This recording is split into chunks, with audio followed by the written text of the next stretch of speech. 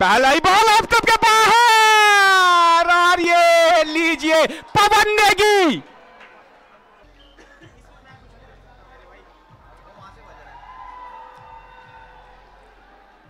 Hello.